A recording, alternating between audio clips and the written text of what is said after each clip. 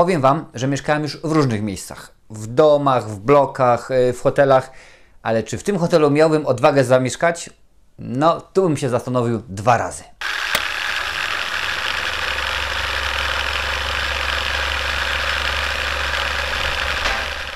Republika Zielonego Przylądka. Myślałem, że bardziej odludnego miejsca do oglądania moich recenzji nie ma, ale jest. Okaże się w piątek, dowiecie się. Republiko, mieszkańcy, dziękuję Wam bardzo i pozdrawiam.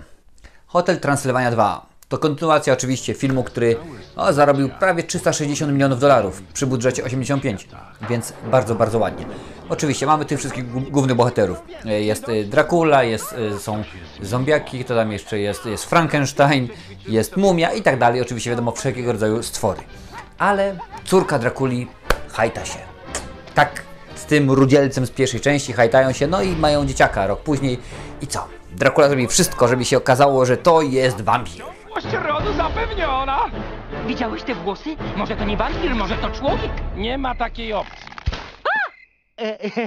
A co zrobi?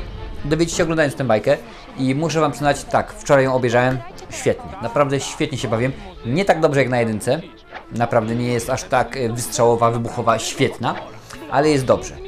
Humor dla dorosłych, dla dzieciaków, moja córka również bawiła się setnie, zresztą mam nadzieję, ponieważ e, dzisiaj chciała znowu tę bajkę obejrzeć.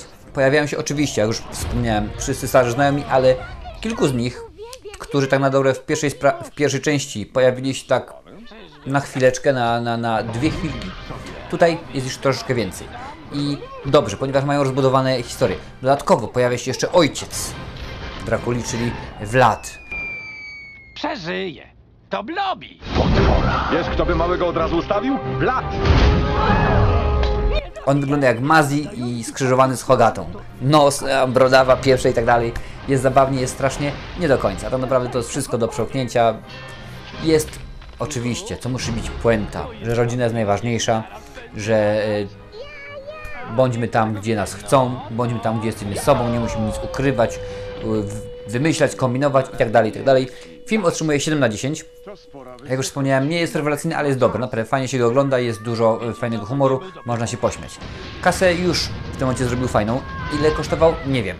IMDB nie podaje, aczkolwiek skoro pierwsza część kosztowała 85, a drugie przeważnie są droższe, więc obstałem, że przynajmniej ze stówkę kosztował, ale już w tym momencie zarobił ponad 150, więc nieźle, a premiera amerykańska była tydzień temu, więc jak najbardziej mega pozytywnie.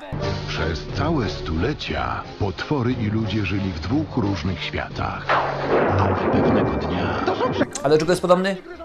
Do wszystkiego, co ostatnimi czasy wychodzi spod pióra y, Pixaru i DreamWorks.